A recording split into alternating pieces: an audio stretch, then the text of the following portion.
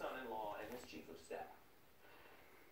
We can't have someone in the Oval Office who doesn't understand the meaning of the word confidential or classified. I don't think it's safe to have Hillary Clinton be briefed on national security because the word will get out. One of the first things we must do is to enforce all classification rules. I'm joined by Elizabeth Spiers. She worked for Jared Kushner as editor-in-chief of his the New York Observer, and by Chris Whipple, an author whose most recent New York Times bestseller is about White House chiefs of staff. Chris, your view of what happened here,